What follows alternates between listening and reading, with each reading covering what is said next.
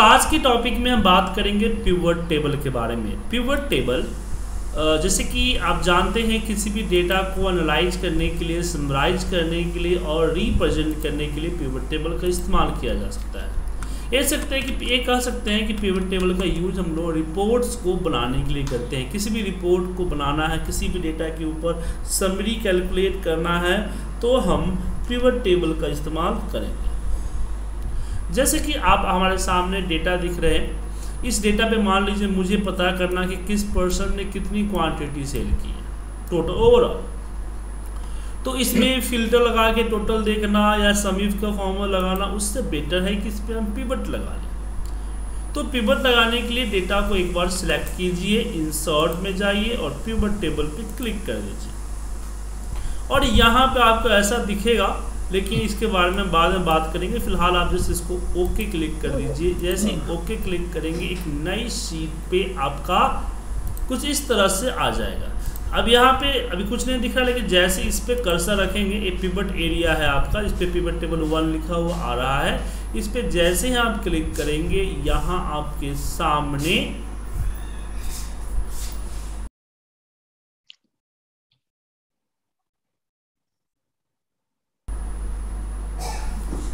ठीक है sir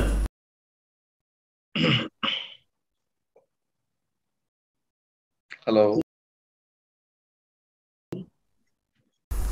sir आवाज़ आ रही मेरी आपको? हाँ, आवाज़ आ रही तो सारे के सारे जो फ़ील्ड आ जाएँगे। इसका मतलब ये है कि आपको ये चेक करते रहना होना चाह हो पड़ेगा कि आपके किसी डेटा का कॉलम का हेडिंग ब्लैंक तो नहीं है। अगर हेडिंग ब्लैंक हुआ तो फिर पिबट एक्सेप्ट नहीं करेगा। ठीक है सर हम्म, ठीक।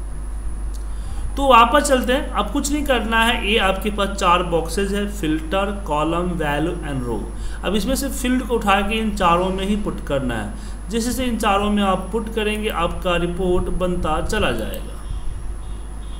अब जैसे मान लीजिए मुझे चाहिए नेम बाय टोटल क्वांटिटी तो नेम को उठा के मैंने रो में रखा। तो यहाँ पे एक चीज़ देखिए आपके डेटा में वैले ही नेम एक नेम से पूजा को ले लीजिए कम से कम सौ बार रिपीटेड होगा इसमें। लेकिन आपके पिवट में ये वन टाइम आएगा। तो इससे एक और बेनिफिट होता है कि अगर किसी डेटा के अंदर का यूनिक हेड काउंट आपको निकालना है कि टोटल यूनिक हेड काउंट कितने हैं तो आप यूज़ कर सकते हैं पिवट टेबल को। ठीक है? अब हमें यहाँ पे क्वेश्चन आता है कि हमने रो में ही क्यों रखा है? हम कॉलम में क्यों नहीं रखें? क्या ये ज़रूरी है कि हम रो में ही रखें? देखिए, रखने के लिए हम कॉलम में भी रख सकते हैं, लेकिन कॉलम में रखेंगे तो कॉलम बाई जाएगा रो में रखेंगे तो रो बाई आएगा। ठीक है? लेकिन जनरली डेटा हम रो वाइज लेते हैं तो अच्छा बेनिफिट होता है। अब वापस आते हैं क्वांटिटी को रखते हैं वैल्यू में। अब वैल्यू में रखना इसमें नियम है कि कोई भी फ़ील्ड को वैल्यू में तब रखते हैं जब उसकी कैलकुलेशन करनी होती है। जैसे मुझे टोटल करनी है क्वांटिटी की तो यहाँ पे आ गया। अब टोटल के अलावा कुछ और कैलकुलेशन भी की जा सकती है। इसके लिए यहाँ आपको दिख रहा है आपको साइड में एरो की, उस पर क्लिक कीजिए और यहीं पे आपको वैल्यू वैल्यू फ़ील्ड सेटिंग दिख रहा होगा। इस पर क्लिक कीजिएगा। यहीं पे आप sum count average minimum maximum product deviation सारे कर सकते हैं। समझ गए? कोई doubt no doubt sir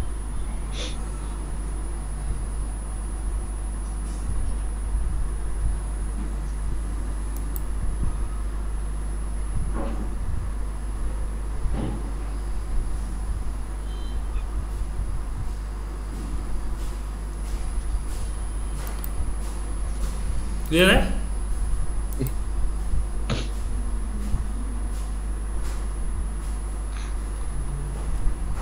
तो यहाँ फ़िलहाल हम सम को छोड़ देते हैं, सम ही रखते हैं। तो डेटा बन गया। अब डेटा की बात आती है फॉर्मेटिंग क्योंकि डेटा ऐसे ही तो नहीं भेजूँगा ना। हमें इसको फॉर्मेटिंग करनी पड़ेगी ना सर जी। तो इसके लिए आपको जैसे सबसे पहले यहाँ पे देखिए रो लेवल दिख रहा है, मैं चाहता हूँ इसको नेम शो हो यहाँ पे। तो मैंने यहाँ पे नेम लिख दिया नेम शो हो गया। अब यहाँ पे सम ऑफ़ क्वांटिटी आपको दिख रहा है। सम ऑफ़ क्वांटिटी के जगह पे मुझे टोटल चाहिए, मैंने यहाँ पे टोटल लिख दिया। इसके बाद इसकी फॉर्मेटिंग ऐसे हालाँकि जो मैनुअल आप फॉर्मेटिंग करते हैं वो यहाँ से आप अपनी मैनुअल फॉर्मेटिंग कर सकते हैं कोई प्रॉब्लम नहीं है। यहाँ से आप अपनी मैनुअल फॉर्मेटिंग कर सकते हैं। लेकिन अगर आप मैनुअल फॉर्मेटिंग कर रहे हैं तो एक, एक बात जान लीजिए कि आपका डेटा कल के डेट में अगर अपडेट होता है तो यहाँ रिफ्रेश करना पड़ेगा। मतलब कि अभी फ़िलहाल डेटा तो ठीक है इसमें अगर कोई चेंजिंग होता है ना सर तो पिवट पे तभी रिफ्लेक्ट करेगा जब इसको रिफ्रेश करेंगे। रिफ्रेश करने के लिए जैसे राइट क्लिक कीजिए रिफ्रेश कीजिए आपका रिफ्रेश हो जाएगा। रिफ्रेश होते ही फॉर्मेट फॉर्मेटिंग प्रिजर्व होती है तो आपकी फॉर्मेटिंग हो सकती है। मान लीजिए आपने फॉर्मेटिंग किया था यहीं तक ट्वेंटी वन तक या ट्वेंटी टू तक। अब कुछ नया नाम ऐड हो गया जो कि ट्वेंटी फाइव तक चला गया। तो ये नीचे की फॉर्मेटिंग तो नहीं ना होगी क्योंकि आपके नॉर्मल फॉर्मेटिंग आपके पिबट से कनेक्टेड तो नहीं ना है सर इसलिए। तो इसके लिए हम रिकमेंड करते हैं कि आप डिज़ाइन पे जाएँ और डिज़ाइन के अंदर आप देखें बहुत सारे फॉर्मेटिंग के अवेलेबल हैं। आप इस फॉर्मेटिंग को चूज़ कर सकते हैं। Right right? तो बने बनाए फॉर्मेटिंग है, आप जो फॉर्मेटिंग लेना चाहे वो ले लीजिए, आपका डेटा उसी हिसाब से फॉर्मेट हो जाएगा। अब समटाइम क्या करते हैं, हम पिवट के ऊपर चार्ट्स भी अप्लाई करते हैं। तो क्या हम पिवट में चार्ट अप्लाई कर सकते हैं? हाँ चार्ट भी अप्लाई कर सकते हैं। इसके लिए हम यहाँ चार्ट पे क्लिक करेंगे। ठीक है?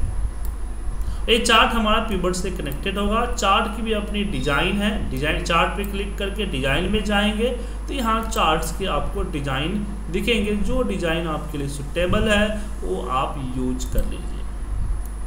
ये आपका रिपोर्ट बन गया। अब जिसको आपको भेजना है उसको आप भेज सकते हैं। सर इसी चार्ट में थोड़ा सा पूछना था। Suppose hmm. जो ये हमने बने हुए हैं अपना नेम वाइज सेल वाइज ना? हम्म। हमारा ग्रिड है। तो इसमें हमें वैल्यू चाहिए होगा तो वैल्यू भी अपग्रेड कर सकते हैं? जी हाँ इस पर राइट क्लिक कीजिए ऐड डेटा लेबल जी जी। ओके ठीक है? अब चलिए बात करते हैं पिवट के बारे के ऊपर। देखिए पिवट टेबल देखा आपने कि हमने समरी क्रिएट किया तो पिवट टेबल लगाने से पहले आपको दो तीन चीज़ें पता होनी चाहिए। सबसे पहले आपको आपका डेटा के बारे में पता होना चाहिए। कि आपका डेटा क्या है? पहली चीज़। क्योंकि डेटा पे आप एनालिसिस करने जा रहे हैं समरी बनाने जा रहे हैं डेटा के बारे में आपको नहीं पता है तो आप की बात लगाना आपके लिए मुश्किल होगा। ठीक है? समझे? तो डेटा के बारे में पता होना चाहिए। दूसरा आपको इस डेटा से निकालना क्या है? ये भी पता होना चाहिए। बिल्कुल सर कि मान लीजिए जो डेटा हमारा है मुझे इसमें इससे चाहिए क्या? मैं चाहता हूँ कि मुझे इसमें आ, मुझे इसमें चाहिए आ, कि ए टोटल निकालना है या एवरेज निकालना है तो क्या चाहिए आपको? जैसे अभी हमने बताया ना मुझे नेम वाइज टोटल चाहिए। तो ये आपको आउटपुट किस तरह का चाहिए ये आपको पता होना चाहिए क्योंकि ये पता नहीं रहेगा तो फिर मुश्किल हो जाएगी। तीसरा पिवट लगाने से पहले दो चीज़ चेक करें। आपका हेडिंग ब्लैंक नहीं होना चाहिए और आपका डेटा के बीच में कहीं पूरी की पूरी ब्लैंक रो नहीं होनी चाहिए। अगर पूरी की पूरी ब्लैंक रो है तो आपको पिवट लगाने से पहले उस डेटा को सिलेक्ट करना पड़ेगा। नहीं तो क्या होगा? एक कंट्रोल ए के अकॉर्डिंग आपका ब्लैंक रो से ऊपर का ही डेटा पिवट में लग जाएगा। नीचे का डेटा पिवट में नहीं लगेगा। इसका ध्यान आप रखेंगे। क्लियर है? जी। अब यहाँ पे हम पिवट हम पिवट लगाने जा रहे हैं। अब मुझे इस पे पिवट किस तरह का चाहिए? मुझे चाहिए कि किस पर्सन ने किस सिटी में किस एर, किस सिटी में कितनी क्वांटिटी सेल की है राइट और मुझे एरिया भी वन बाय वन एरिया भी देखना है हमें। तो इसके लिए हमने यहाँ एक और पिवट लगाया और पिवट लगाने के बाद हमने नेम को रखा रो में, हमने सिटी को रखा कॉलन में क्वांटिटी का नया टोटल किया। तो ये हमारा निकल गया कि किस सिटी में, किस पर्सन ने किस सिटी में कितना सेल किया है। अब यहाँ पे देखिए, जिस जिस सिटी में मान लीजिए पूजा ने नोएडा, कानपुर, पटना में सेल नहीं किया है तो ब्लैंक है। अब चलिए आप ब्लैंक ना हो, यहाँ पे ज़ीरो हो यहाँ पे ब्लैंक ना हो, क्या हो? ज़ीरो हो। ठीक है? जी। तो क्या करेंगे इसके लिए? तो इसके लिए हम इस पे राइट क्लिक करेंगे हम जाएँगे पिवट टेबल ऑप्शन और यहाँ पे यहाँ दिख रहा होगा फोर एम्पेटी सेल जो कि बाय डिफ़ॉल्ट ब्लैंक है। इस ब्लैंक के जगह पे हम डालेंगे ज़ीरो राइट और ज़ीरो डालने के बाद जस्ट प्रेस्ड ओके दिख गया सर जी। कोई दिक्कत है इसमें? इसमें दोबारा दोबारा कहाँ से ऑप्शन आया? Right click pivot table options यहाँ। दिख रहा है? ठीक ठीक। चलिए। तो इस तरह से आ गया। सर एक चीज़। हाँ पूछिए। इसको हम ब्लैंक को ज़ीरो से रिप्लेस कर सकते हैं या कुछ भी कर सकते हैं? ज़ीरो की जगह कुछ भी लिख सकते हैं आप। जब ज़ीरो टाइप कर सकते हैं तो उसमें कुछ भी टाइप कर सकते हैं। जी जी। अब सर सेकंड थिंग यदि ये पूरा हो गया तो मैं सवाल करूँ सर। पूछिए क्या सवाल है? एक्चुअली सर जो आ, आप चार्ट बना रहे थे ना हम्म। लाइक मेरा भी ऐसे कुछ समरी है। इधर राजेश जी अ, मैं आपको इंटरप्ट करना चाहूँगा। हम आपको अभी चार्ट में दिखाया है कि इस तरह से लगा सकते हैं। हमने चार्ट पढ़ाया नहीं है। तो जी, जी। कुछ क्लासेस बाद चार्ट्स की क्लासेस आएगी तो आप तसल्ली से अपने सारे प्रॉब्लम क्लियर कर लीजिएगा ठीक है? ठीक है सर। चलिए अभी पिवट टेबल पे आते हैं क्योंकि अभी यहाँ से चार्ट की तरफ़ मुड़ेंगे तो पिवट टेबल इंटरप्ट हो जाएगा। बिल्कुल बिल्कुल सर बिल्कुल बिल्कुल। अच्छा तो- एक चीज़ बताइए जो जो चार्ट उधर बना है उस चार्ट को हम एक नए शीट में भी ले सकते हैं? जी हाँ कट कर कट करके पेस्ट कर सकते हैं। लेकिन वो जैसे जैसे चेंजेस करेंगे वहाँ वहाँ कनेक्टेड होगा कनेक्टेड होगा। ठीक ओके। तो यहाँ जो आपके सामने ज़ीरो आया, इस तरह का डेटा आया, अब मुझे इसमें बताया कि मुझे वन बाई वन सिटी को देखना है एरिया को देखना है। तो आप एरिया को उठा के फ़िल्टर में लगा सकते हैं। जो फ़िल्टर होता है, ये पेज फ़िल्टर कहलाता है। ठीक है? तो जैसे मैंने यहाँ पे सेंट्रल सेलेक्ट कर लिया तो पूरा रिपोर्ट अब सेंट्रल का है। तो यहाँ पे ध्यान रखिए ये आपकी ये जो वाली वैल्यूज़ वाली है, वो क्या है? कैलकुलेशन वाले फ़ील्ड को रखना है, जिसकी वैल्यूज़ आपको यहाँ शो करेगी। रो वाइज ये आपका जो आइटम्स आपको रो के अकॉर्डिंग चाहिए और जो आइटम आपका कॉलम के अकॉर्डिंग चाहिए। तो जो कॉलम अभी जैसे रो एंड कॉलम दिख रहा है, इसको हम लोग मैट्रिक्स फॉर्मेट कहते हैं। बेसिकली पिवट में रिपोर्ट दो तरह के बनाए जाते हैं मैट्रिक्स फॉर्मेट में और सब टोटल फॉर्मेट में। राइट तो मैट्रिक्स फॉर्मेट में एक प्रॉब्लम होती है इसी की डेटा तो अभी छोटा है लेकिन कल के डेट में डेटा आपका बड़ा हुआ जैसे मैंने यहाँ डेट को उठा कर रख देता हूँ और इसको अनग्रुप कर देता हूँ। तो आप देख सकते हैं काफ़ी बड़ा डेट हो गया ना? तो इसको इस तरह से नेविगेट करना प्रॉब्लम हो गई। क्या? लेकिन मैं इसी डेट को उठा के अगर रो में रख दूँगा तो यहाँ हमें लिए उतना प्रॉब्लम क्रिएट नहीं करेगा। कर रहा है सर? हम्म, नहीं सर। तो यहाँ पे क्या होता है कि आपका अगर लिस्ट काफ़ी बड़ा है तो आप अपने हेडिंग को सब हेडिंग में अपने फ़ील्ड को सब फ़ील्ड में रखें और इस तरह से आपके सामने रिपोर्ट सब टोटल फॉर्मेट में आ जाएगा। अभी देखिए नेम के आगे जो प्लस माइनस का साइन लगा है दिख रहा है आपको? इसको क्लैप्स और एक्सपेंड कहते हैं। इस पर क्लिक करके ऊपर देखिए जैसे पिवट टेबल पे क्लिक करेंगे ना आपके पास दो नया टैब आएगा pivot table analyse and pivot table design ठीक है? हम्म, तो यहाँ आप देखेंगे कि मेरे पास पिवट टेबल डिज़ाइन के अंदर में जो है ये देखिए कोलैप्स और एक्सपेंड का ऑप्शन है। यहाँ पे कोलैप्स हो गया ये आपका एक्सपेंड करता है तो जैसे कि आपकी बहुत बड़ी डेटा है तो आप ये कर सकते हैं कि जैसे कि उसमें आप दे सकते हैं कि पूजा ने सेल किया टू सिक्स फाइव एट मुझे जानना है कि पूजा ने किस किस सिटी में सेल किया है। तो जस्ट क्लिक किया और हम जान जाएँगे कि पूजा ने मुजफ्फरपुर एंड जयपुर में सेल किया है। ठीक है? लेकिन ये चीज़ें तब होती है जब हम पिवट टेबल को को as a pivot table report भेजते हैं। लेकिन समटाइम क्या होता है कि हम पिवट टेबल को डेटा लेते हैं, लेकिन लेने के बाद हम उसको वापस अलग जगह पे कॉपी पेस्ट करते हैं, उस पर और बहुत सारी कैलकुलेशन करते हैं। तो उस केस में क्या होगा, मान लीजिए मुझको लेके इस पर कैलकुलेशन करना है तो यहाँ पे दिक्कत होगा। लेकिन उससे पहले मैं जो सब टोटल है उसको हटाना चाहूँगा। मुझे सब टोटल की ज़रूरत नहीं है। तो राइट क्लिक कीजिए सब टोटल के ऊपर, यहाँ पे देखिए सब टोटल नेम टिक का निशान लगा है, इस पे जाके क्लिक कर दीजिए, ये आपका सब टोटल हट जाएगा। हट गया? अब प्रॉब्लम है कि जब मैं इसको कॉपी करके जब यहाँ पेस्ट करूँगा तो देखेंगे कि एक ही फ़ील्ड में आपका नेम भी है और एक ही फ़ील्ड में आपके एक ही फ़ील्ड में आपका नाम भी है और एक ही फ़ील्ड में आपका सिटी भी है तो ये समझना मुश्किल हो जाता है कि कौन सा नाम है कौन सा सिटी है। दिक्कत होगी ना सर इसमें? सो so, मैं चाहता हूँ अपना पिवट टेबल के डिज़ाइन को चेंज करना लेआउट को चेंज करना। मैं चाहता हूँ कि पहले सिटी आए एक कॉलम में नेम आए दूसरे कॉलम में सिटी और तीसरे कॉलम में हमारा डेटा आए। तो अभी फ़िलहाल हमने क्या कर रखा है? दो कॉलम मुझे तीन कॉलम में चाहिए चीज़ें। तो इसके दो तीन तरीके हैं। पहला तरीका है कि आप पिवट टेबल एनालाइज में जाएँ नहीं डिज़ाइन में सॉरी डिज़ाइन में जाएँ और रिपोर्ट लेआउट पे जाके आप यहाँ पे आपका फ़िलहाल एक कॉम्पैक्ट फॉर्म में है।